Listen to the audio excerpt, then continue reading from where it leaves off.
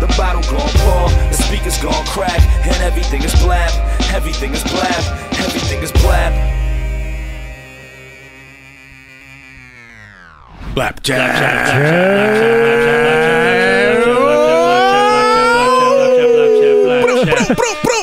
do Yes. All right. Blap chats. Felt good. What's good, Blap chatters? If you know what that feels like, a yawn, like a nice good yawn. It does. You know, It a nice stretch in the morning. It was a little yawny.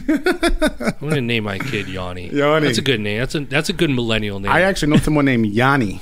Yanni is Yanni, cool. yeah. Yanni is cool. Yanni is better though. Definitely. But then all the jokes that the kid would get, like at school, like, "Oh, Yanni, did you fall asleep again?" I've heard every single joke about your name you could hear in your whole life. Yeah, Because my name being Atlas. of course. Ooh, like the world. Like the, can you shrug for me? yeah, exactly. I bet you never get lost. That's a pretty good one, though. That that one made me laugh. So. Unbelievable. um, guys, welcome to another episode uh, of Blap Chat. This is episode 107.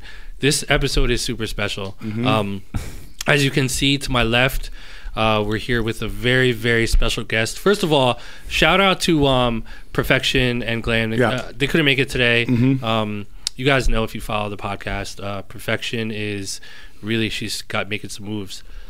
Mm-hmm. Excuse me, she's making some moves. Um, She's on her production grind. So uh, I think she had a session today, Mm-hmm. and you know, Glam is on her artist shit. Mhm. So um, you know, they couldn't make it, but uh, we're here today. This is Blap Chat, episode 107. I go by the name of Ill Mind. Mm-hmm. Um, shout out to all you guys um, who have been listening to us. I'm here with my co-host. Yep, Atlas the plug. What's good? Plug, you already I'm know. here. I'm here. You know what I'm saying? Atlas feeling is good? here. You feel me? And uh, we have another special guest here. I'm super excited to have him, obviously.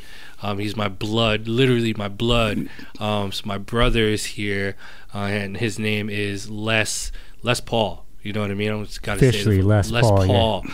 So clap it up for my my brother. Hey. is here. Yo. Let's Yo, what's up, everybody? We family. Ah. We, li- we literally blood. Paul Yeah, in the literally. Like literally. Like literally, yeah. We have Like the same on the real. Yes. God, I have so Les many. is uh, Les is Les is my older brother, and and I've always like throughout our whole life, like I've always looked up to Les with really everything. You know what I mean? And um, it's awesome for you to be here because um, I think we kind of like had a preliminary. Uh, uh, kind of teaser with Yeah. some of the followers, like you know, you kind of pop up here and there. You've been to a few of my past auxes Sure. in LA, The live one. I, I, the live the live podcast thing. So some of you guys may or may not know about my brother Les. Um, you know, he popped up on my IG.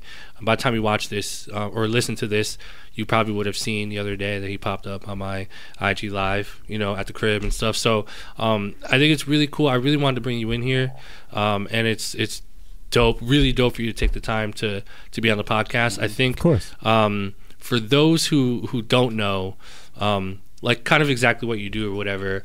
Uh, well, first of all, let me go on record and say, Les is um, an amazing musician on his own, and he plays. He literally plays instruments like a million times better than I do. like, uh-huh. like, you- like I, I suck at piano. He's actually like a real piano player. First of all, I wouldn't say that. I mean, like, real pianists, what? Like, they, they can read notes and everything. But, you know, Fuck as we. that. Fuck reading notes. You know, like Play no disrespect ear. to you guys who can, but like you've always played by ear, Right. right? So I want to get into some of that stuff, Sure. obviously, but the the short version is that um, I wanted to bring my my brother here today because not only is he a great musician, um, but also is a really really successful um, in the financial world. You know, you're an accountant um, for a really, really amazing firm, and um, you've been doing that for years, for a long time. Um, and uh, I, I know that you have a lot of really insightful ideas when it comes to finances, um, obviously from your experience and from work and stuff. And I think finances, and I don't know if we touched on this, Atlas, on the don't think- podcast too much have. Not really. but finances is a really Important. big really important subject to talk about when you're a producer or an artist rapper singer songwriter Mhm. and when you start to generate income things can get really confusing Definitely. and and it can get really overwhelming in terms of like what happens when I get paid? Uh, when do I file my taxes, or where should I put my money? Do I need to open an LLC? Like there's this whole like, oh, just start an LLC, but then people don't know the the basics and the ins and outs and the the actual reasoning Sure. behind that stuff. So why don't we kind of start and jump right in? I'm down to like Yeah, jump right in, right into it. like Absolutely. financial stuff. It's Yeah. like, you know, we talked a little bit about this earlier Mm-hmm. about how there's producers, especially producers, who are starting to like generate some income, Sure. right? And you have producers that are uh, doing it on the side, making some residual income, maybe selling beats online, Mm-hmm. hundred dollars here, fifty dollars here. And then you have more seasoned producers that may maybe are seeing royalties and publishing income, but also selling beats. Some are generating ten thousand a year. Some are generating ten thousand a month. Sure. So it's this huge range of people that are making money. So from your financial background, you know, we could just start here. Yeah. Um, what are some like basic financial literacy things Mhm. that you think would help for someone who is now just starting to make a little bit of money? Let's Yeah. let's say I generated thirty thousand dollars Mhm. in beat selling last year. Mhm. So what do I do with that money? Yeah, man. I mean, it can go in many different directions, and it can also depend on your certain situation. So you said it really well because, like the audience, it could be a, a wide range, right? So, literally, step one is making sure you save about ten to twenty percent of your money, which is Wow. at first you think it's just like that's impossible, man. I got all these bills. Like, how am I going to do that?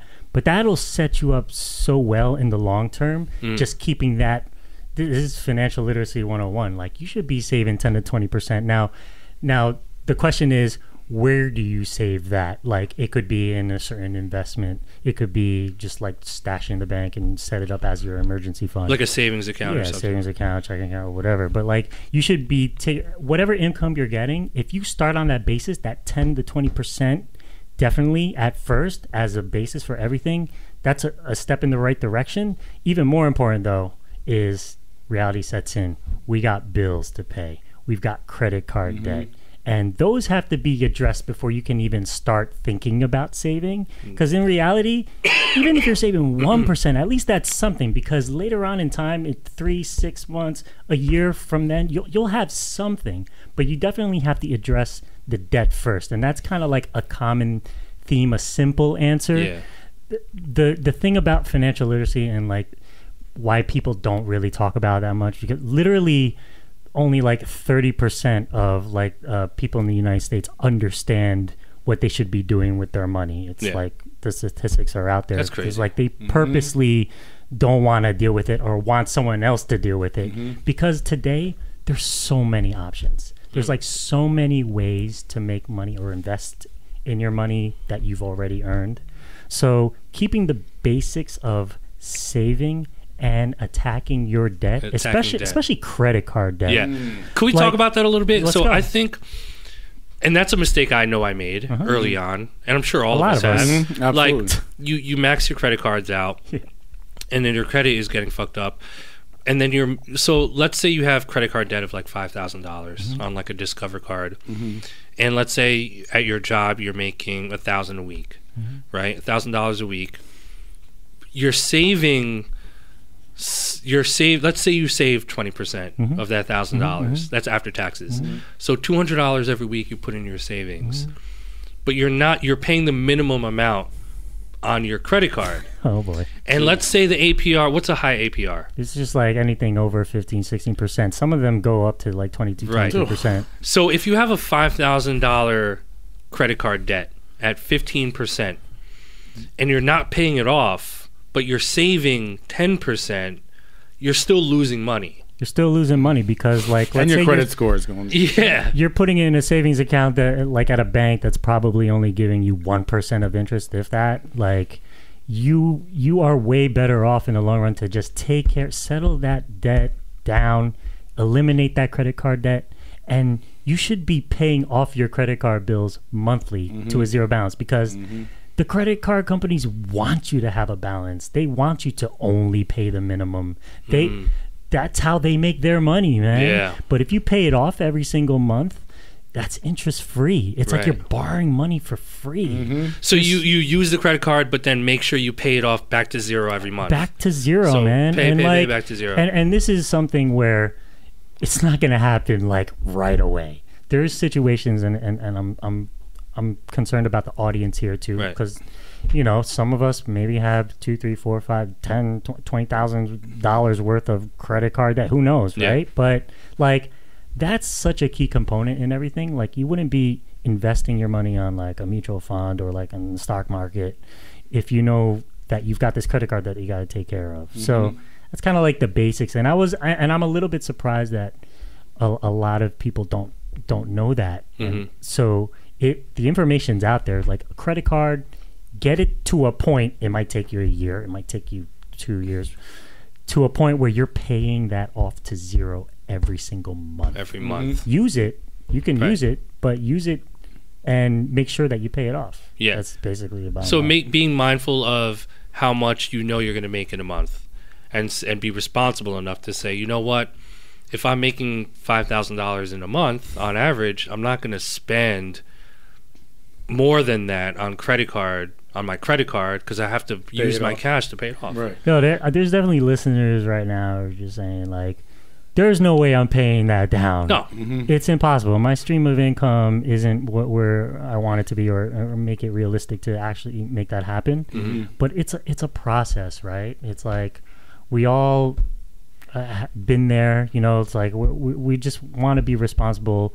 Take care of that first, and in time you can start dabbling on like the other exciting things that you can invest in. right. Um, but that's that, that credit card debt, debt in general is like a main concern. Right. You know, you know, you know what else? And I'm, I'm really, really glad we're talking about this because I think something else that they don't talk about in the hip hop community or just in the music Sure. industry, period, is credit.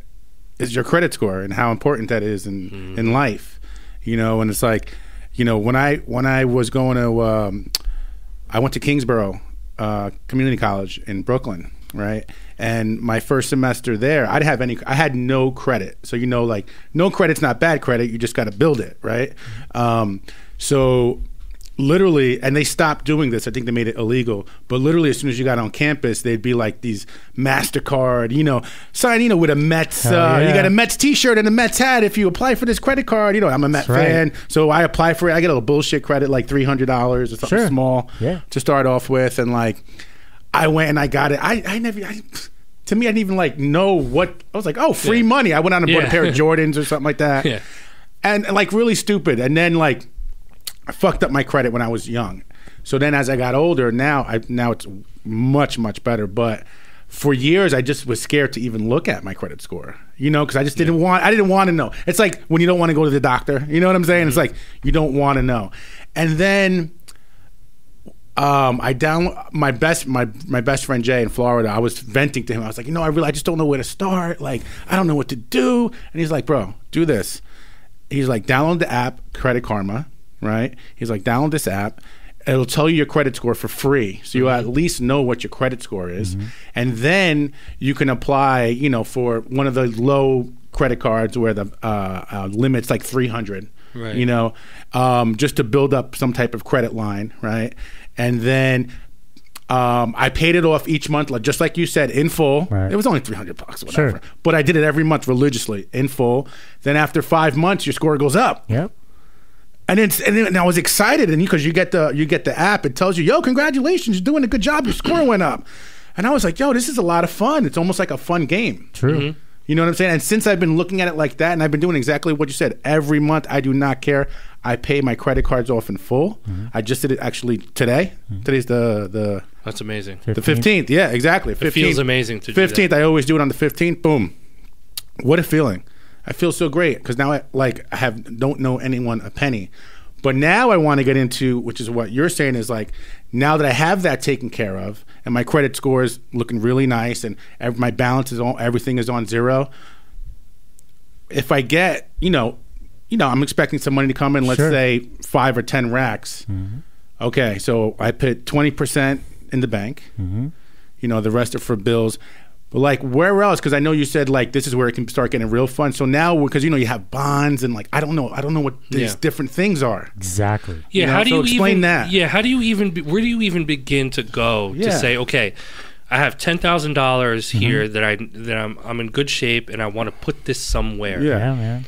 Do I go to Bank of America? Do I Yeah. go online Mm-hmm. and Google search? Like, who, who do I talk to? Yeah, so the the banks offer this.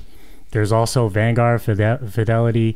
There a, a, a nice, safe, easy way to do it is to take advantage of the uh, retirement accounts, like the IRAs, um, like individual retirement accounts, where you can stash. And, and if we're getting like hands-on practical, it's like you literally just go online and sign up, have it connect to your existing checking account, and make a deposit or make it a Wow. recurring monthly thing, whatever you want to do, Mm-hmm. and you can literally just set it up, put put a hundred bucks in there or something or whatever.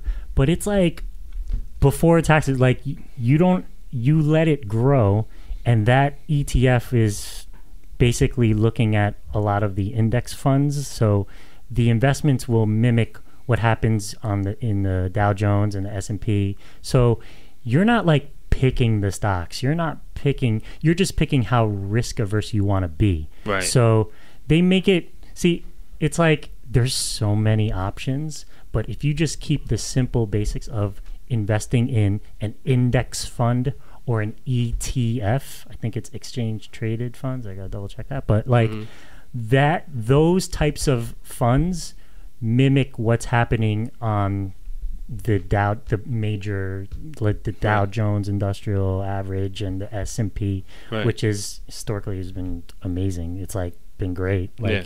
you're better off going that route for the long term and stashing your money there. And if it's linked or mapped to like a like an IRA, like I was talking about, because uh, like in in like uh, the corporate world, it's like a 401k that you're investing in. Right. There's also the IRAs where it's growing tax free Mm. before taxes, tax free. Is that the same as the SEP IRA? It's it's uh so the SEP one is more for the I think like self-employed, so not Yeah. someone who's like in the corporate Yeah, world. That's what I have. yeah. so So here's why I know what that is. so yeah, so same concept. That IRA is invested in whatever type of mutual funds. Like, um, it just depends on who it is you're working with, Right. and you pick how aggressive or not aggressive you want to be. Maybe you want to put, make sure the fund has eighty percent stocks and twenty percent bonds because Mm-hmm. you don't want to be super risky, and it can change over time. It, it, it's a matter of how risk averse you want to be. How risk and the more aggressive you are, the more money you'll either make or lose. But Yeah. in the long run, you're going to make somewhere between 15, 20, 25, 30% on money that's compounding, yeah. which is a key. Like We were com- talking about that earlier. Compound That's- interest. Compound The eighth is wonder the of the key. world. yeah, it's they really call it the eighth wonder of the world, right? I've heard that. So why don't you explain what First that is of all, let's do this for compound interest. compound interest. And me and me and Les had a great conversation at the studio earlier Mm-hmm. about compound interest. He was like explaining it to me, and I and and it, it completely parallels a career in music. It re- and I'll, I'll I'll tie it together, but explain to the listeners Mm-hmm. the super basic. Like as if you were, and not to offend the listeners, sorry guys, but as if you were explaining to like a child, like Yeah. what exactly is compound interest? yeah, I mean, there's some people who obviously know the term, but we'll talk to the listeners who, don't really Yeah. know with Most of them interest. don't. Yeah. Yeah, so you got a hundred bucks and you're making two percent on it. Uh, let's say for five years. So, and, and again, this is like most people don't don't know this stuff. It's like in one year you're gonna make a hundred and two dollars, right? At the end of year two, it's not you're not gonna make another only two dollars if you're making two percent. Right. Uh, you know, return. It's two percent of the one hundred two Wow, yeah. not two percent of the hundred. Like I, I'm like really So then what? simplifying this. So when you You're not gonna have 104 after year two. You're gonna have more than that, whatever the calculation is. I don't have a Right, right. calculator in front of me, Wow. but Yeah. and then multiply that. Like go to five years. You're not gonna have compound, only two percent compound. It's Because if it was if it, going yeah, to grow. if it was two percent on a hundred, you would make two dollars every year. yeah, Correct. Non-compound, yeah. but that compound Clutch. because Because it, it's it's on top of it's it's like Just uh, keeps and then I- yeah, it keeps building. So we were talking about earlier how the the financial graph sort of looks like this. If it was two percent, if it was two dollars every year, it would be this, right? Straight. Like a straight Because you know exactly how much you're going to make. gradual I growth. make extra two dollars every year, Mm-hmm, but compound is 102 and then 104, 104 whatever. Yeah. and so it's going like this. Yeah. Yeah, it makes total sense. It's be- the the right the graph is sort of bending because the more you make, the more time that goes by. It's almost like you're doubling up every yeah, time. yeah, that's what it feels like. Yeah, absolutely. I mean, the key variable, and we talked about this too, is the time frame, right? Like, the earlier you start, like, and everybody should start today if they haven't started yet. It'll grow in time, like ten years down the road, twenty years down the road, and and I'm not one to always focus on the future. I'm uh, I'm like kind of like a now person, but like, you can put stash something and then just be pleasantly surprised five years later, ten years later, it's like, oh my gosh, I'm so glad I started that, like mm-hmm. whenever, you know. But that's going back to what Atlas was saying. That's after you took care of that The credit card. credit Yeah, card. yeah. That's Yeah. after the, the the shit that you you still owe, and, and that's like you got to pay interest on, it, or like a collection agency is attacking. you. It's Yeah. like you're not gonna dabble here yet You can't. you got to take care of that too. A lot of people talk about how you should also have an emer- emergency fund that's uh, like you know liquid, like just in case those crazy things happen. You know, it's it, we're, we're we're in real life here, right? So. Yeah. If, if it's something medical or like your car breaks down, you Yeah. need to pay. Like, Or you can't work brakes. anymore for whatever. You can't reason. work, disability, whatever. Like you got to have that. Well, it's ideal to have that extra stash just in case as an emergency fund. So once that's all set up, then you can really play. You know can what I play. mean? You can make it like you said earlier when we were talking, which uh, which I really loved, was making your money work for you. You don't want to work for your money. Make the money work for you, Make man. Make the money like, You work can for literally let it sit in a spot and it'll just grow, man. Just don't look at it. I mean, there's some successful day traders out there who are like really picking stocks, but you, I've heard a saying where like you can have a monkey throw at a dartboard and select stocks and it'll perf- perform better than some of these professionals. Wow. You know what I mean? Crazy. like these professionals have a i think it's called like a fiduciary um, responsibility to make sure that they're not the ones making out when they're giving the advice to their client it's like they mm. got to look out for the client man but Yeah. like mm-hmm. you know it goes back to what i was saying keep it simple there's there's so many 40 50 60 years ago there weren't as many uh, options as there are today in terms of what to invest in What to invest in? Yeah. you keep it keep it simple. Everybody Google ETFs, Google IRAs. Mm-hmm. You Yeah. know, Fidelity is a good spot. Go to your local bank. Um, just be careful because sometimes there some people are trying to make a quick buck there, but it's Mhm. not mm-hmm. about that quick buck. It's mm-hmm. about Yeah. thinking about long term. Long What, term. what do you think about this whole Bitcoin thing?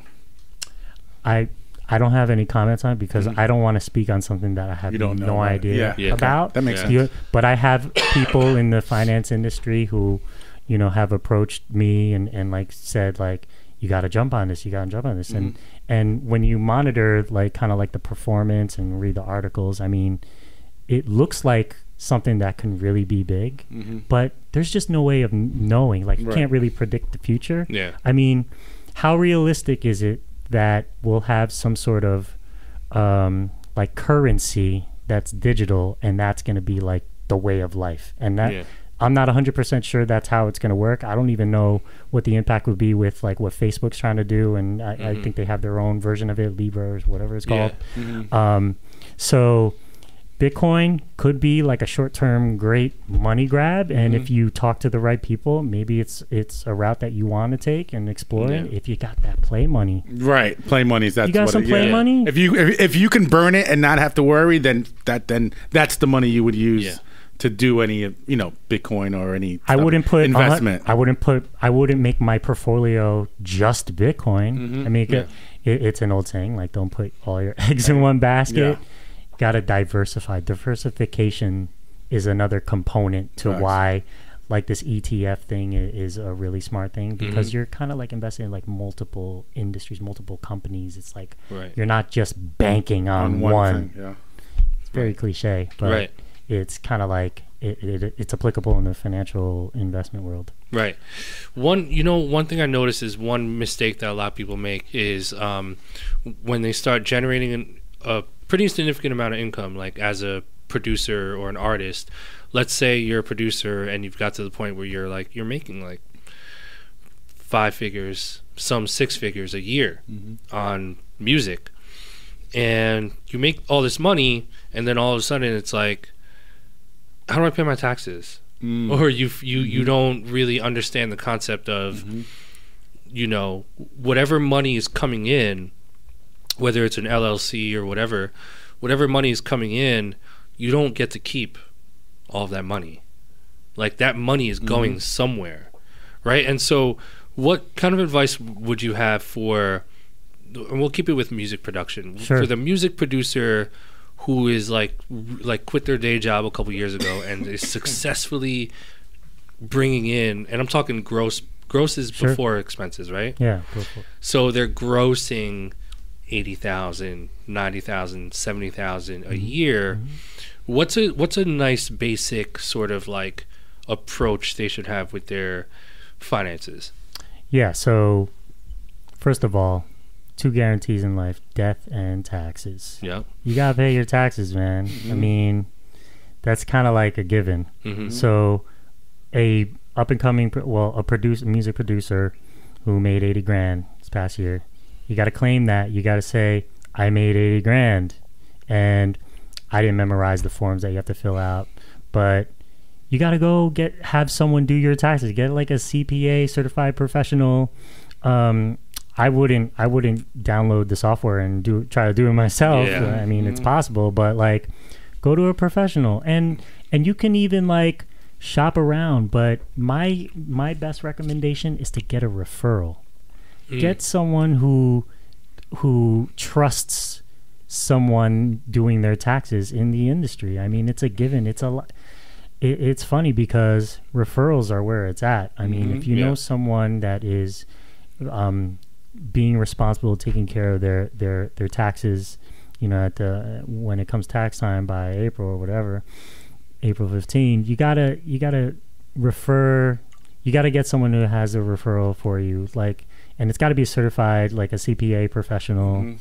Don't half-ass it. Like, Mhm. make sure that's legit hmm and make sure and and my recommendation is to at first if you're not trusting someone yet have it have a get a second opinion get a second person to analyze you know the income that you made and how much you know whatever bracket level that you are and what percentage you should be owing hmm the government the state like, you're paying for the state and the federal.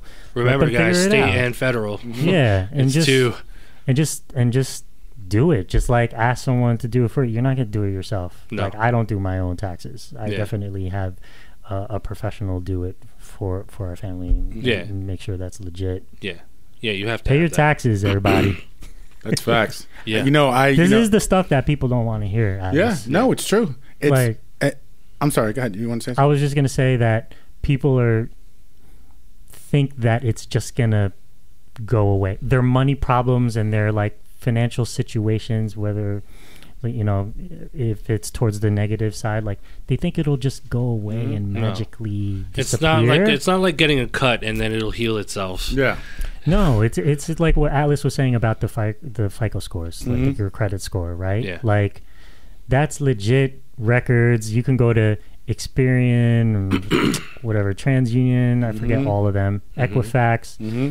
and they've got they've got your data they got your credit history they know how long your credit cards have been opened how often that you pay it on time Mm-hmm. and it goes back to how you increase your credit score um, you know in time and a big factor is the balances that you have on your Mhm. credit cards like your debt so like um, so that's a big factor in the timeliness of your payments so Mhm. yeah it definitely ties in, but it it's bottom line is like you just have to make sure that's legit with the FICO scores because um, it goes a long way when you're getting those loans down Mhm. in the long Yeah. run, or like, um, I think some like job, um, some uh, there's some opportunities like when people are interviewing. Like I think some companies look at your credit, Credit score. Some too. of them do. Wow. Yeah, some of them do. Wow, Some that's do. crazy. Also, if you're 22 and you dropped out of college and you're selling beats and you live at home with mom,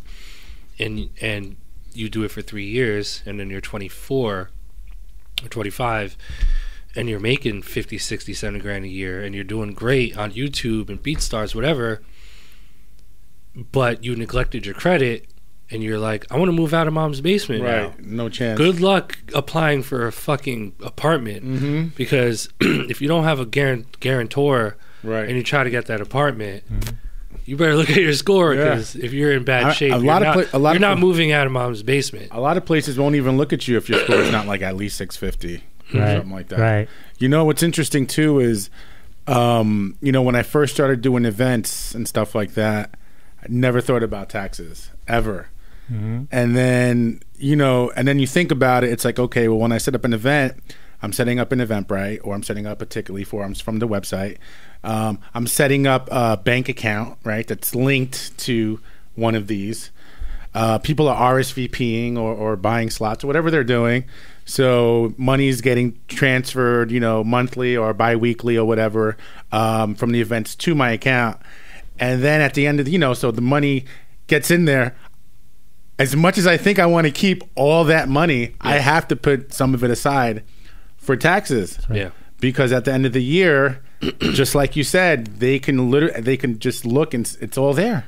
Yeah. If someone wants to sit and look at, it, they can see literally. Okay, well, from uh, the events, he's made this much, so he owes Mm-hmm. us, you know, five grand or whatever it is, six whatever it is, and uh, I just started really kind of, you know, because I've been doing a lot more events, and a lot more of this, and then. Re- you know, I started more recently focusing on. Like, all right, dude, like you got to start Yeah. making sure that your taxes situation at the end of the year is good. Right. You know, and, and it's fine. It's been it's been fine because I've been on top of it, but Yeah. You know, a it- lot- it's easy to slip up and get caught up. easy because Yeah. you think no one sees it, Yeah. but it's Yeah, all it's I all mean- electronic. Everyone, you know, it's traceable. That's why. That's why in some cases people like, you know, the term like uh, handling things under the table or like ca- Right. cash only. Like Mhm. so there is no record. Yeah, yeah, Yeah. So, absolutely. Like I'm not promoting any foul play out there, Yeah. but like Right. You know, like, Like- those little, little, uh, uh, you know, when you go to like the the dry cleaner, they're like, "Oh, cash only." Oh yeah, You yeah, know what I'm yeah. Oh. Oh, okay, I know what this is. You know who else does that? Okay. Whenever you go to buy jewelry, Cash only, whenever, there okay. it is. whenever you go buy jewelry, they they be like, "Yo, listen, if you uh, if you pay cash, I'll, I I'll take fifteen percent off." yeah. Or I'm like, you know, bro, why are you doing this you to know me, them, bro? You know them vintage stores with the records and the little, right. the little Nintendo and the Mm-hmm. little Star Wars figurines, like cash only. Sorry. Right. They don't want to claim that much profit or Yeah. income when it comes tax times. Like I only made a hundred grand. I You know- didn't make a hundred fifty. Wh- You know what other industry is notorious for that? Mm. Restaurant. Yeah, of course. Yeah. When I waited Wait, tables, wait. Yeah. or You get cash. bartended. I never bartended, but the bartender. It's, it's all everyone knows this in the restaurant business. if you wait tables, you're a busser, uh, bartender. At the end of the night, if you claim any cash, because a lot, a lot of it got to the point where we were literally just putting credit card down. Um, you would claim very, very little of Yeah, it for little. any of That's it. right. Yeah. Yeah. Not that I ever did that for the record. Of record. course, But that's a norm. You did the right thing. you know, I paid my Yeah, taxes. always. I'm a good American. Yeah, that's a that's a 100%. norm for a lot of people. Yeah. Going back to the compound interest thing. So when we were talking about that earlier, I, we were kind of talking a little bit about like my career and just just not even mine, but like a, the career of the successful music producer or a Right. music creator that has mm-hmm. seen success, right? Mm-hmm. And when you look at the trajectory of someone who has been become successful in music, it's a compound interest type of graph. Because it's like mm-hmm. and I was telling my brother earlier it was like for me in the early days, you know, 15 years ago when I first started this or even more, it was like broke not making money, mm-hmm. not don't know anyone, and, it, and the graph was this. It was like bottom of the barrel, Yo, everybody, everybody heard this story. bottom of the barrel, right? So this is this side is like success, and then this is time, Right. right?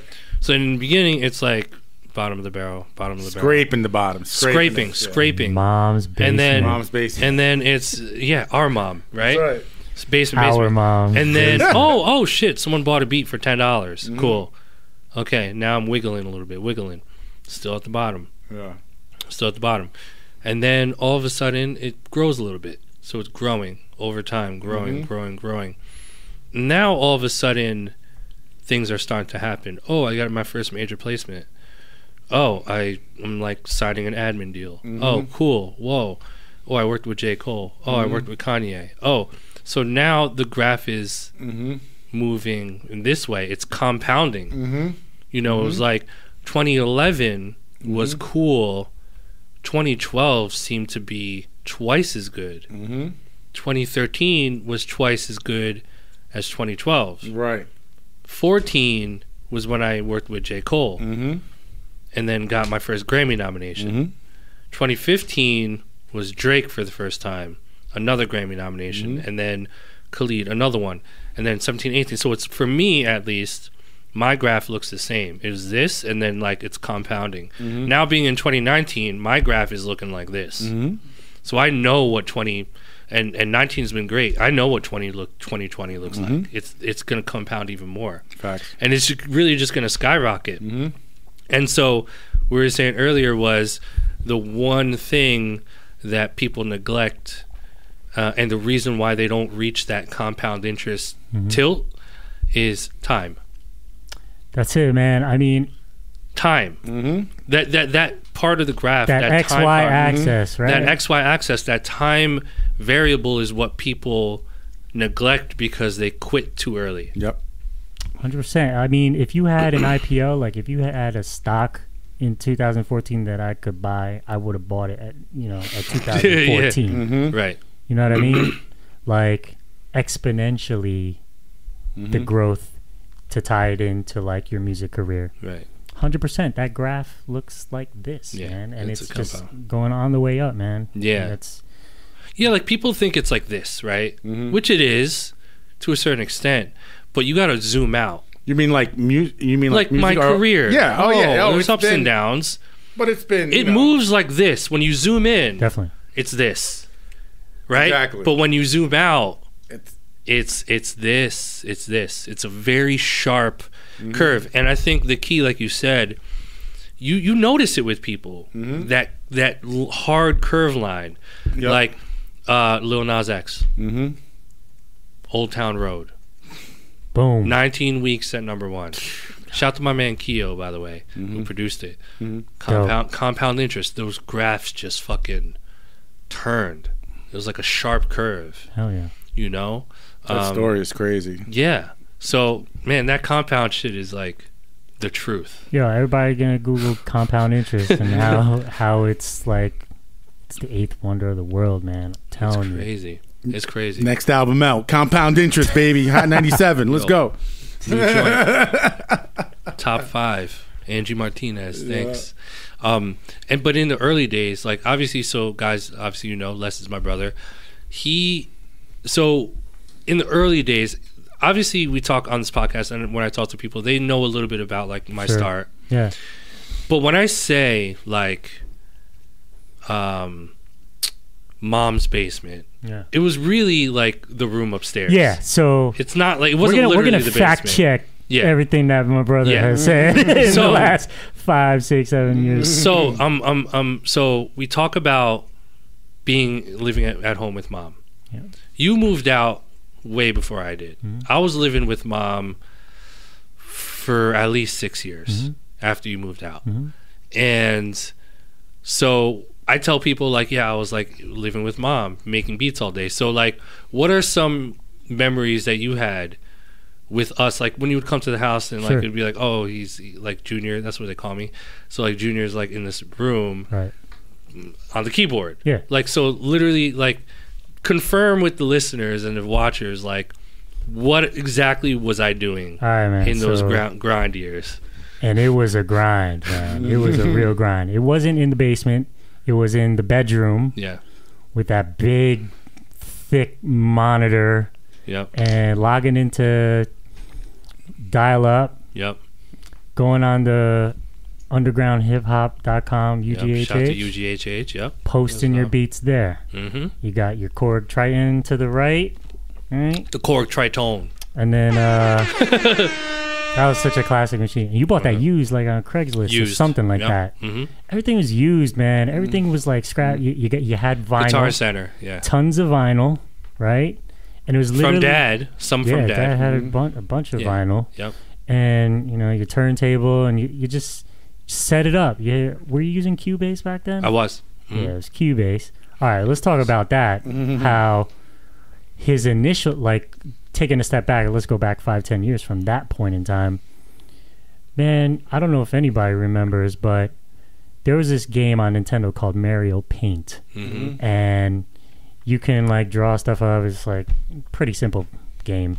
Mhm. But there was also a component to that that was like a music component where you can create music in the video game Yep. like the mushroom was the kick and i think the the star was like a, a snare or A a, hi-hat hi-hat, whatever it yeah. was and you literally started there Program beats. Yeah.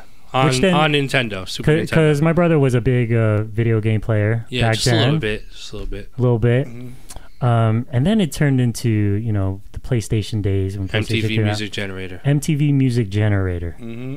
you made some fire on that hmm you know and this was even before using the the piano Yep. or anything like that hmm you're using that Mhm. and it, and what was funny about that was that and and it, it goes back to some discussions did i lose my audio No, No. here. You I can hear lost yourself? my, my Oh. Your headphones. oh that's good There it goes back to like kind of like how producers used to not want to reveal what they're actually using hmm so you kept That's that a it little hidden for I a kept it minute. low. I kept it low because I was like, people aren't going to take me seriously if they know I'm making beats on I mean, PlayStation. Right, right. Let's right. keep it a buck. You know, so back then it was like super frowned upon. Yeah. So so you're living with mom, right? And yeah, you were grinding. You didn't. Where did I didn't go every week? Philly.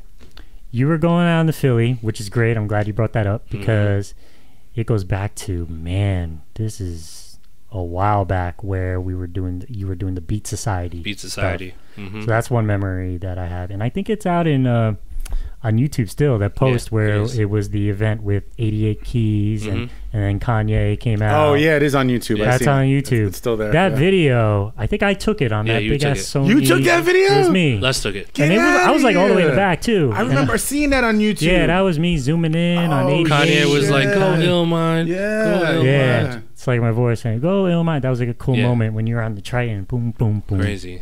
boom, boom, Yeah. boom. That was a turning point. Wow. You just played that, Yeah. and it was funny because like you already had it playing, and you were like touching some stuff. But Yeah. the crowd was going crazy, and Yeah. that was a cool moment. That was in Philly. Yeah. So you would go to Philly a lot to collaborate and do do music and and it was literally pe- meeting uh, people on it was UGHH, Yeah. right? hmm And and that was basically what it was, grinding. You you didn't come come out that much. No. Like people were like, I wasn't "Hey, really hanging out. You weren't hanging out. Nope. You weren't you weren't wasting your time at parties or at clubs because back in the day we would go clubbing. Yeah. we, We went a few times. City. We went a few. I You won a few out times. You know what I'm saying? you came out a few times. I'm not going to say. You know what I'm saying? Strip club. I'm not. I'm not Got in trouble say a couple times. You know what I'm saying? A few times here and there. here and there. but yeah, man, like you're you're speaking the truth. Like you were literally grind, grinding Yeah. on the music scene, and you and that's what it takes. And you did that for years. Yeah. Like to a point where I was just like, okay, he loves what he's doing, and this is a key component to all of this. Like I supported all of that. Hmm hmm you know, our family supported it, like Mm-hmm. mom and dad did. So it wasn't like you weren't getting the pressure, and and I'm glad this is coming up because like I asked some of my followers on, on my Instagram like what, what we should talk about on this podcast, and a lot a lot was talking about family history Yeah. and what the household was like, because not everyone has the luxury of having Yep. a support cast, you know, hmm of families saying yes, pursue that Yeah. especially in like a, an Asian com- community where Mhm. you get a lot of pressure to Mhm. be a doctor or a Yeah. lawyer or an engineer. Yeah. Mhm. Like, I think it's because dad was in the music industry. Yeah. That helped. That helped, and I, I love that video clip, man. Yeah. That of your posted my dad. Yeah. I never saw that. I literally almost cried. Like Yeah. it was like a video clip of your dad, and you were like like young Illmind, Yeah. right? And he and he was saying like, yeah, I came home one day and and he chopped up one of my records and he made a beat and basically not verbatim, but he was like, and I loved it. I couldn't Yeah. even believe he did. I was so proud of him, and I was like. That's fucking amazing. like, like you were like a kid, and must, must have because your dad, I'm sure, had hundreds of, of vinyl. He did. You must have felt like a kid in a fucking candy store, Mm-hmm. just like going through them and looking at the cover and picking them out and putting Yeah. Mm-hmm. them on. You know, and Yeah. you seeing that whole thing. I, I can't even imagine what it was like. Yeah, and and you're absolutely right. Like the cards that were dealt to us allowed for us to have the luxury for certain things. Like especially me, like 100%. like dad having a vinyl collection and and being a musician, like be playing guitar. My mom not really understanding, but her being down to like financially support and like Definitely. not kick me out because I dropped out of college or school Sure. and like said, "Hey, mom and dad, I want I just want to like play with my keyboard all day." Mm-hmm. Like that's hard for a parent. You know what I mean? To just be down for.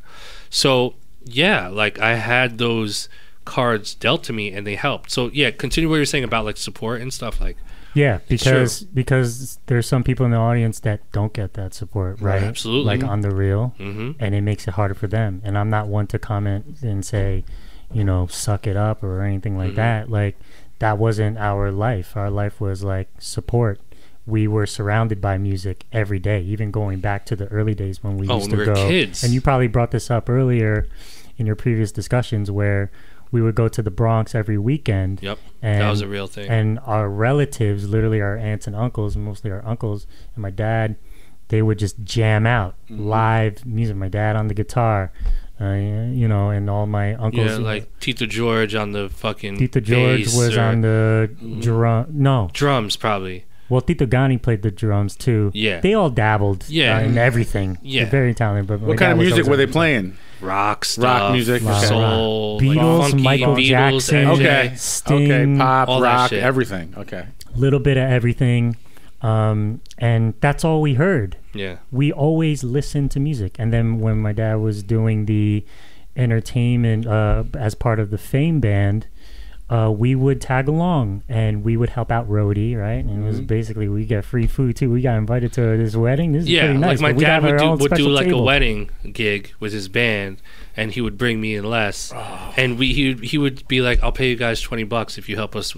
Bring the speakers in and and You were help like, us, hell yeah. You're like hell yeah, Dad, we're gonna help you. Yeah. and then uh, free food, Free food and wedding food is the best. people are dancing and we're backstage. We like we're like superstars. Like oh, our dad's That's like aw- playing a band and shit. That's cool. That was our childhood. Yeah, So I mean, it's like if you're surrounded in that environment, Mm-hmm. uh, of course it leads into something that's like music related Yeah. or in Mm-hmm. the creative world and zero pressure to be something that you're not. Like Mhm. they let us be who we are Yeah. and to and and straight up like I think our parents had it kind of easy because they didn't really have to force us to do anything Yeah. we just pursued what we wanted to do Yep. and we got the support from them and i'm taking that you know as a father of two boys Mhm. like i'm trying to learn from that and really give support to my boys in whatever they want to pursue Mhm. because i got to learn that they're not like me Yeah. and that's hard Yeah. and part of me thinks that way and also part of me thinks about the discipline component that i think is still somewhat Yeah. important as well because that's what shaped us because you know you know our parents were somewhat They were strict, in- you know in terms Yeah. of like you can't be out late Yeah. like when i talk about how like they let us do anything they didn't let us out late like forever you yeah, know, we like- can't be out and then like not come home. right, of course not. like shit like that. You know what I mean? but that takes time to build that trust Right. so they ended up trusting us and Mm-hmm. Also too, and you know, this is also this is kind of going into like nature versus nurture. Mm-hmm.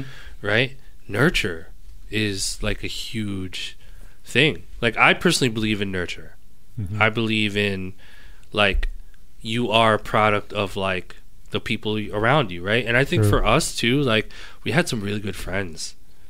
I think I think That having helped. good people around and just good friends and people like a good support system like went a long way. It just goes a long Yeah, way. man. Like shout out to the early years growing up in Bloomfield, New Jersey. They already know. You, You already know, know Bloomfield, the hood. You know what I'm Ponchville, saying? You know what I mean? Bloomfield. Mm-hmm. putting it on the map.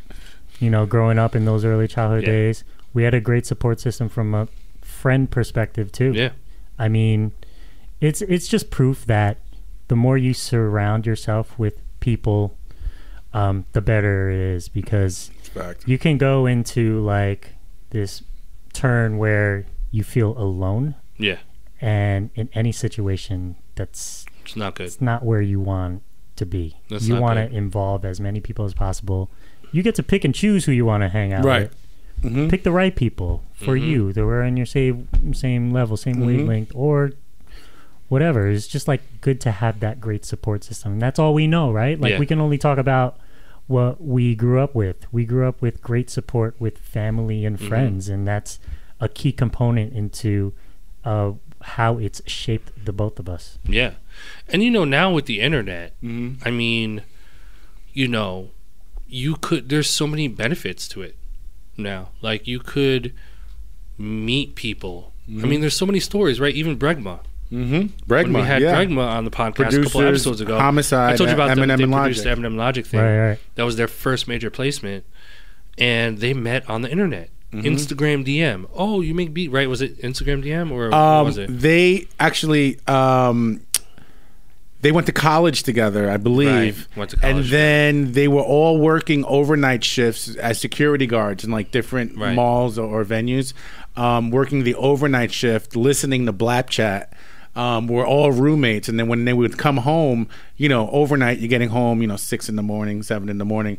They would come home and discuss like what they learned from the Blap Chat episode, and then they would execute it. So they would go out and like, okay, well, Blap Chat's always talking about finding local artists. Okay, well, let's start building art. Let's start finding art, and they did. Yeah. Wow. They found a dope local Crazy. guy that now that's signed to them, you know, um, and then they started just using everything about going out and networking and all the stuff we talk about in the, in the hundred and whatever episodes, and boom, first placement, Eminem and fucking Logic, Homicide. Yeah, life changing.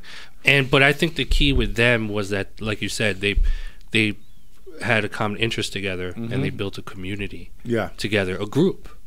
Yo, that's so important. And and So important. and I mean, it's like a shameless plug here. Like Pass the Aux. Mm-hmm. Pass the Aux. everybody gotta get I'm on gonna give that. myself an air horn. I've been to I've been to a couple. Yeah, pass the auxes were really are The one in L.A. was dope. the LA is always to. such a good time. Shout out to all the Yeah. producers. Shout out and to all the- of you guys who have come to my Pass the Aux events.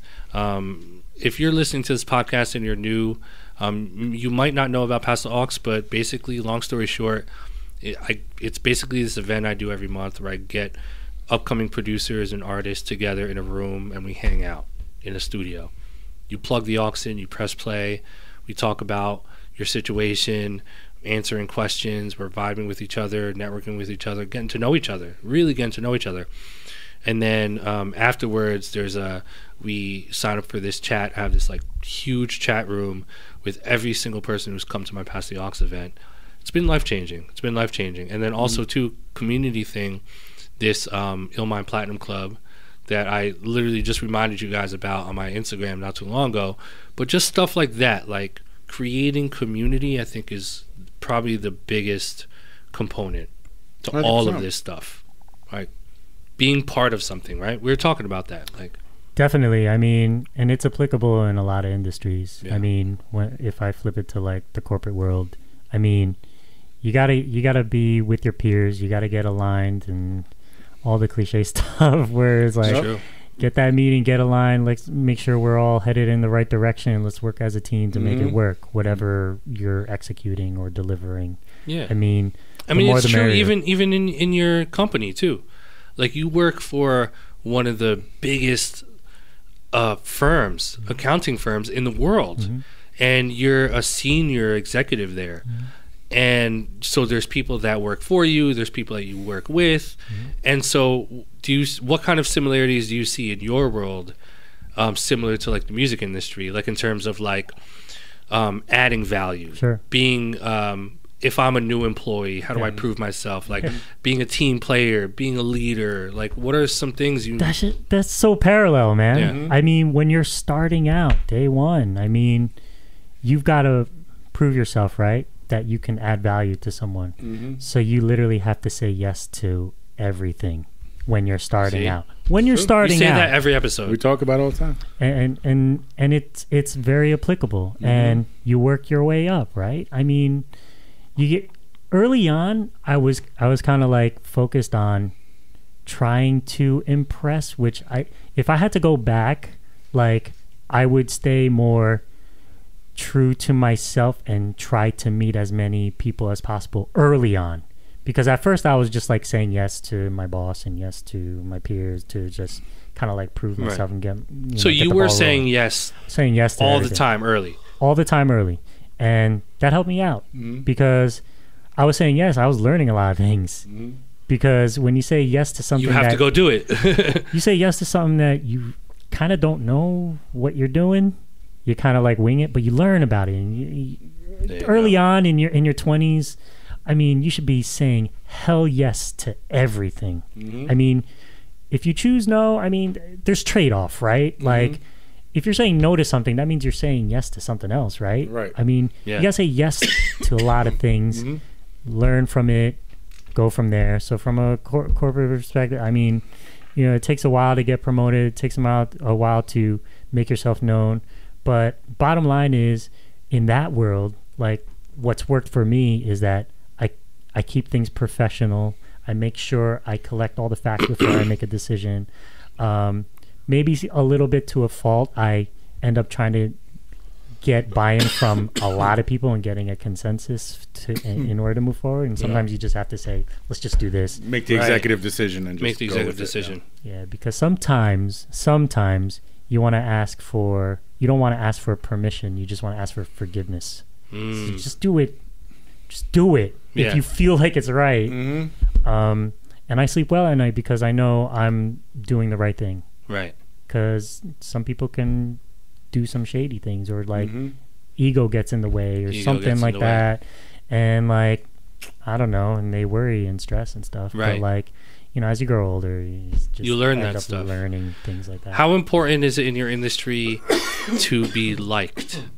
Like the the button pusher, the boss man likes you enough as a just trusts you enough, likes you enough and is it important to build that trust? I think what's more important is to be respected Mm. Mm.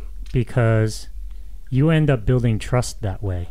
Mm. Sure, sure, everybody wants to be liked, right? I, I'm sure um, in that world, but if you're liked but not respected, then what's like the point? Like, why are you Mhm. there? Like, Right. you're just there for the likes. Yeah, yeah. like you want to make sure you're adding value you want to make sure people can come to you and be like you're the trusted advisor for Mhm. them hmm and in my opinion if you start losing that feeling then you shouldn't be there Mhm. Yeah. like if you feel like you're not adding value Mhm. um gotta get out of there and Yeah. do Mhm. something else because Yeah. that's not for you Yeah. so the like thing, somebody might answer in a different way, like, "No, I gotta be liked because the, these boss, my boss needs to like me," and then Mm, yeah. you never know what happens. But like, I found out that if you're respected, if you can prove that you're like um, that you can work with other people, but at the same time believe in yourself that an answer is the right answer with conviction and with confidence. hmm I think that goes a longer way than just being like. Facts. Facts. I, I, it's interesting listening to you um, speak about this because it definitely goes hand in hand with you know with the music and and, Oh. and networking and you know even like here when you talk you know because you know like I do my little Twitter gems and I put them on Instagram and stuff and it's like everything you're saying it's like I could not freaking agree the respect Yeah. thing you're talking about yeah. is so true it's like okay I can like you but if I respect you Yeah. then I'm not now I'm looking at you in a whole different light. Different light. It's like yeah, I could like yeah, yeah, Joey, yeah, Joey's cool, Joey's cool, but man, I respect Tommy yeah. yeah, or yeah. I respect Mike, dude. I just respect them. It's like when you put someone on a respect level, it's like you not only do you like them, but you almost like look up to them in a, in a way or admire what they're doing and want to Yeah. learn from them, which is awesome. Yeah, it's awesome, and it's awesome to be the the giver, uh, but be on the receiving end of that too. Yeah. It's like a win-win. Mm-hmm. You know. Speaking of win-win, which hopefully is the case, Uh oh. you know what time it is, Win, win, right? win, win. Yes. You know what time it is, I'm right? excited. Fuck about this. everything else. Here we go. Yeah. Win, win, win, win. It is time for.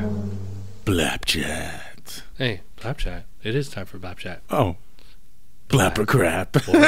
Sorry. Blap. Yo. Crap. Yo, I can participate in this? Of Of course, bro. Hell yes. Fucking kidding me? Absolutely. I am so amped for this moment mm. right Hey, here. this is the moment of truth. we haven't had a blap in a long time. In a I'm not even gonna fucking front. Wow. Uh, so check it out, guys. This is what we're gonna do right now. So just to confirm, I can only say blap or crap.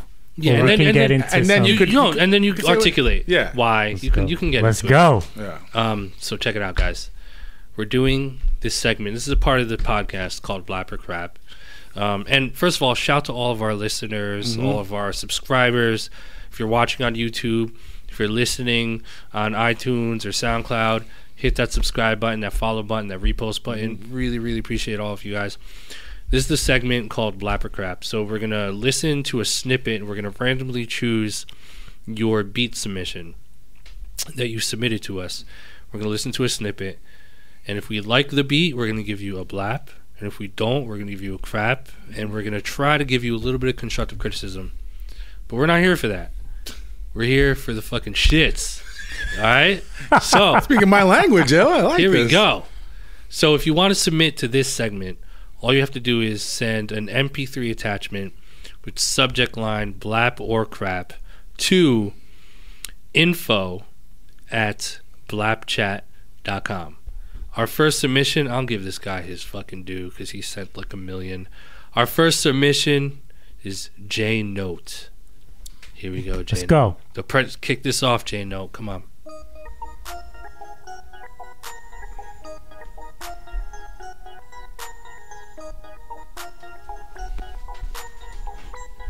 You gotta put something on that master. It's a little low. Can we get a little volume on the aux in there? Thank you, guys.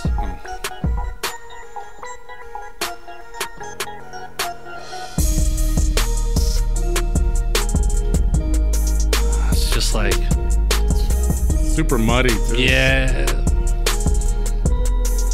It's like done a million times. Yeah. Super safe.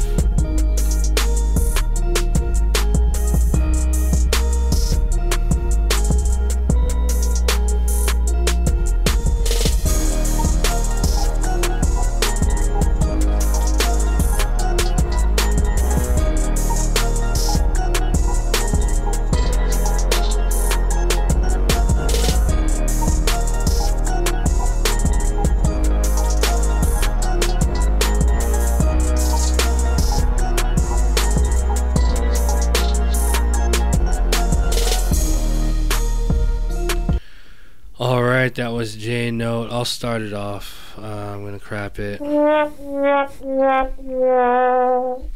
I don't know. It's just like it wasn't terrible, but I just it was. I just, I've heard it so many times. hmm Uh, yeah, it's just wasn't wasn't good. Wasn't good. Yeah, as as someone who doesn't listen to a thousand beats like you do per day Mm. from submissions or whatever, I'm gonna say that was a blap only because it's, but it's not like a a ten out of ten blap. It's Right. more like a seven out of. I don't want to use seven. Six So it was decent. It was a decent blap. It was okay, Okay, only we'll because give of uh, only because of one thing. It to me, and I'm trying to put myself in his position. Like he didn't get, he wasn't super lazy with it. At least he had some change ups Yeah. that made you think every four to eight bars, like, okay, maybe it'll change. Oh, nice little throw in there and there. Yeah. So he was somewhat creative with it. Um, but I understand the other side of it where it is kind of like lazy, typical Right. trap, heard it before type deal. hmm Um, I'm not gonna 100% crap it. I'm gonna say it's a a six and a half Kind of out in of ten between. There you go. There you go. At I'm gonna crap it. all right, crap. I'm gonna crap it. Uh, the mix really needed. It was almost difficult Mm-hmm. to listen to, even though I can. I got through it. It wasn't the worst beat I've heard. Uh, I mean, I agree Yeah. with Les with that. Like there were some things in there I was like, oh, okay. I thought the, actually, I thought the programming was really good. Mm-hmm. I liked and the arrangement of the drums. I wasn't crazy about those like chord progressions and like Yeah, bung, bum, bing, bum, bung, bung, yeah. It's like it was very typical. I wanted to hear just something more unique. Again, not a terrible beat. I mean, there's rappers that'll jump on there and probably make a really cool song. Um, but I have to love it to blap it. So I'm Yeah. gonna crap this one. All right, there you go. Our next submission is by Grandma Moses. Shout out to Grandma Moses. Here we go. Let's go.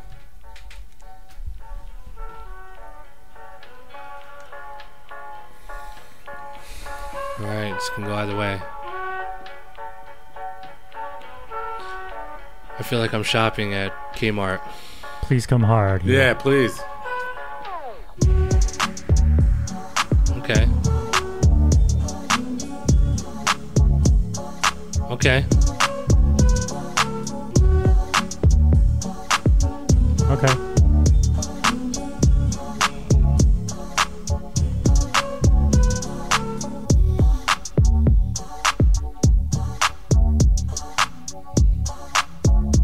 Leaving some room. Yeah. There's a lot of space on here. Verse. it's is the verse. Nice and open. Just need some good verses. Yeah.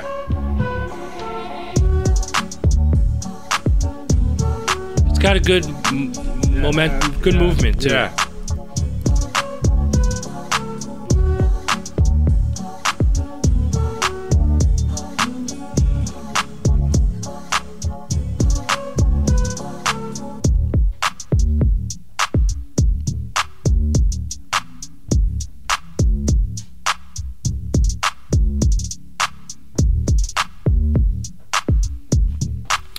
Can turn into a cool song. Oh yeah.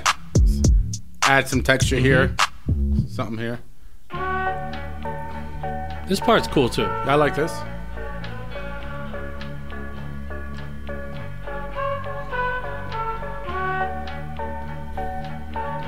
All right, not bad, man. I liked it. Not bad. I'm gonna blap it. I'm blapping it too. I like it. You know what I really liked? Okay. um, I like the arrangement of that a lot. Yeah. I liked when it was like the space in it. Like we knew what the verse was. I, I felt like I knew where the chorus was. Mm-hmm. I liked when he kind of just took all the percussions out and just kind of left the sample in there. Um, I really like on the uh, the uh on the up. It Mm-hmm. was like the uh that kind of came up. That was really dope. I'm gonna blap that. That was fire. I liked it a lot. Amazing. So Les? So this is my response here. So it's a little bit of a cop out, but like it kind of depends on what the Artist does on it. well, yeah, like the goal because you know I, I take it back to like the Beat Society, right? Mhm. You want to bring fr- fire and Yeah. screw the room for any artist. It's not No gonna be a song. I'm gonna display my talent, Yeah. right? Yeah. In that scenario, that would not work in that environment, No. right? It's not a beat battle. This is not a beat Right. battle track, not but beat it's a track. this could be a good song, song track. radio ready track. So because of that, Yeah. I'm gonna blap it because Yeah. there's room Mm-hmm. for it to be something, yeah. and it's like the right mentality. So, so th- and I'm not a music producer, but this producer, he's he or she is kind of like a step in the right direction. Kind of like understands that mentality of leaving room for others. Yep. Mm-hmm. Because there's opportunities there still, right? Yep. Mm-hmm. There's some there's some things that you can still be creative with. It's not a mm-hmm. final master track where you Yeah. know waiting mm-hmm. for a top line or whatever. It's kind of like a rough, uh, Yeah. in my opinion, and it can lead to something. What I've learned on this podcast of us doing this segment is you never want to be in the middle. Mm-hmm. You either want to make something that you really know you can make a good song with Mm-hmm. and commit to that, or you want to make something so fucking crazy, Disrespectful, disrespectful, ignorant, fuck the vocalist. We're going to Coachella or whatever it Yeah, is, beat yeah, battle. beat battle, You better give me that. And they're two completely different things. If Yeah. you're swimming in the middle, you're fucked. It's weird. That's a weird place because to be. you're not going to be able to make a good song, and you're not going to. This is not going to work at Coachella. Mm-hmm. If you're going to do Coachella, if you're going to like what you said, Right. the B battle shit, Right. you better give me those motherfucking air horns. Give me those fucking Yes. triplets. Give me those Change change ups. when, when Ponzu, remember when Ponzu, Ponzu killed it. And he, oh, it was like we thought you were in a festival. I, I said it was the hardest. I think we all said it was like the hardest Yeah. battle, like festival track ever on Blap Yeah. Chat. Ponzu, shout out to Ponzu Shout out to Music. Ponzu, he fucking smashed it. destroyed. But that. you, you you agree, right? Like if you're going to take it there, Commit to Commit. one. Mm-hmm. commit. You know, yeah, oh, yeah. crazy. Our last submission for today is by Christian Bordy. Here we go. Let's go, Christian. Okay, some feel good shit. Yeah. Old school. Licensing. Mm-hmm. Car commercial. Yeah. Well,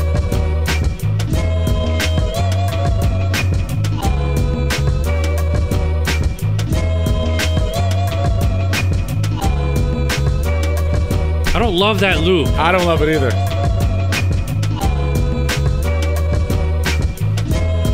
I hope it ends here.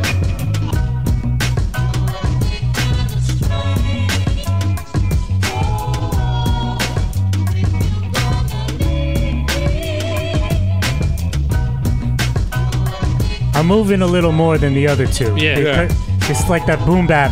Yeah.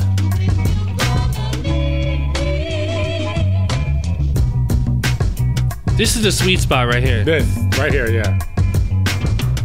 You This could right write here. some cool shit to You this. could you could literally just four bar loop that. yeah, just four bar Played loop at a that. roller skating party. Yeah. Yeah.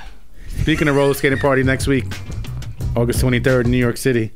Oh, Roller plug disco it, party. plug it, plug it. Yeah, so uh, that's a crap, by the way. Oh, Before wait, I, before I get into wait, it, wait, wait.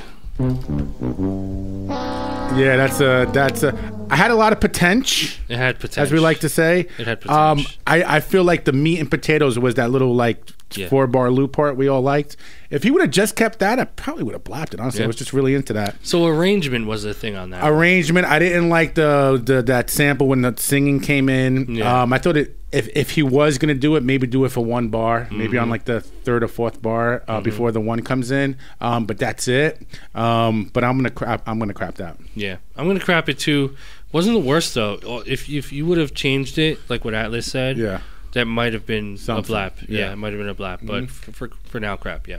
Promise I'm not trying to be different, but I'm gonna blap it only because Do it. No, No, it's got to be different. you know I grew up in an era of like the the '90s hip hop. Boom I bap. was getting that that f- that vibe, you know, Mm-hmm. Mhm. and you know it made me move a little bit more than the other two tracks. you there's know, movement. like there's something about that BPM that kind of like, mm, and then you know you can play that at at a venue or whatever, and I can I can vibe to that a little bit with a drink in my hand. Yeah. Yeah. just like Exactly. listening to it in in that That's setting. a party vibe. Mhm. Not sure about a hit record, Mm-hmm. but you know I can vibe to that one. It was a good vibe. It was a good vibe. Um, Atlas, Yo. why don't you um plug the plug Yes, the, uh, yes, yes, event? yes. So speaking of party vibe, um, so real quick, I got a few things coming up in the next couple weeks. Um, t- actually tonight, so this airs tomorrow, but tonight I'm doing the Showface Showcase. If you're a producer, artist, uh, and you want to come perform. Uh, also next week, Friday, August 23rd, I'm doing the Roller Disco Party here in New York City. Uh, I'm going to be back with that. It's been a lot of fun. 80% women. Guys, I'm telling you, it's awesome. Uh, also, August 29th, Father Dude is headlining Baby's All Right. It's his first headlining show uh, at Baby's All Right in Brooklyn. Nice. September 5th, I'm doing another roller party. And uh, September 19th, my birthday, I'm doing the birthday bash here in New York. So Oh, just keep an eye yeah. out for that. If you want details on any of those, just follow me, Atlas the Plug, on all social media, and it'll be in my bio. Amazing. Also, too, guys, um, you already know Pass the Aux Pass is the happening. Pass Yeah. the Aux is happening. I don't want to shout these dates out. Just know that we're announcing some new dates for November, which we're super excited about. Fire. So we're going to announce that uh, in the next few days. But if you're a music producer, you need to take a look at Pass the Aux and come through, pull up on me. I want to meet you. You need to meet your peers. We get in the studio. It's an amazing time. If you want to know more about it, just go to my website, illmindproducer.com. hit up that Pass the Aux link, see if I'm coming to your city, and pull up to Pass the Aux. And if you're a music producer, you got to join the Illmind Platinum Club. Telling you, um, man, I'm so excited to roll this out. I'm so excited to engage with you guys. I really um, want you guys to you know meet your peers and be part of this community it, it's really it's super empowering and really really fun to watch so um you know check that out illmindproducer.com you guys already know um les you know thank Yeah. you for thank you for coming Yo, man, Thank it. I- this is one of the We I- needed I- this. yeah i think this was one of the most insightful uh, podcasts we've done in a subject that's probably the most important Mm-hmm. that we literally never touch on Yeah, man. Thanks for the invite. I mean, it was a pleasure. Alex, it was really fun. Always, Les. Yo, Appreciate you, I brother. come anytime, man. This is this is a blast, and And you might see my brother Les at a Pass the Aux. Oh yeah, I'm just saying. absolutely. Some You of know you have met him. Or at the LA roller one. party. He might come Or to the, roller party. Yeah, you might exactly. see Illmind at the roller party. you never know. I pop up sometimes. That's right. You know, there's been You know some previous events. You know, I just show up. But yeah, Pass the Aux New is York. definitely where it's at. Mhm. I, I think I'm gonna commit to those those Yeah. two in New York City, Yeah. man. You Those- might as well come to the Toronto one, Mhm. or the I might as Montreal one is going to be lit. I'm just saying. you might Montreal. know why. I- I'm gonna be at the New York one too, so y'all definitely have have to to pull come. up for that. Yeah. for sure. yeah. Um, so Les, thank you again, man. Like, Oh, shout out your Instagram, uh, yeah. social if media. you want them to to hit you up, yeah, you know. man. Right now it's uh, Lestagram seven. hmm You know, that's like my go-to. I'm Okay. still still thinking about, and, and we didn't touch on this. Like, I'm, I, it's a private account. I'm thinking of opening up like a starting public a, account. public one. Yeah. Okay. Still thinking about that. yeah. But let, we'll start with this Lestagram seven. And again, and like for the audience, I mean, you know, th- this is literally, you know, a pleasure speaking with you guys. And if you guys want to DM me, hit me up. Mhm. You know, we'll talk. We'll we'll get more in depth of like anything from a financial perspective or a music perspective or just like a life perspective. You Mhm. know, Yeah. like just don't be afraid to hit me up because. You know, I, I just want to leave with this is like, you know, we're all learning. And that's the Yeah. key component Yep. is make sure that we're still continuing to grow, continue to learn and execute. This is literally the first time I've ever spoken on a podcast before, Mhm. Mhm. and there's going to be some learning lessons from this, uh, Mhm. you know, scenario. So it was a great exper- uh, experience, and it was a pleasure. And Yeah. and uh, that's LES. You said Lestagram seven. E LES. L e s t a g r a m Seven. Seven. Lestagram The Oh, number Lesta. T A Gram seven. Yeah. Lestagram seven, Hit me up. and this is episode 107. You already know. Oh. And, and my birthday is January 7th. Oh. We didn't do that on purpose. accident, complete accident. And it's seven o'clock. Oh. And my anniversary is October 7th. You can keep going. All right, All my right, new- that's it. That's my new. and there's seven pictures on the wall. Like I said, That's my. So shout to all you guys. Yes. Blap chat, you already know episode 107. Yes, sir. See you guys next week. Next next show. We out. Peace.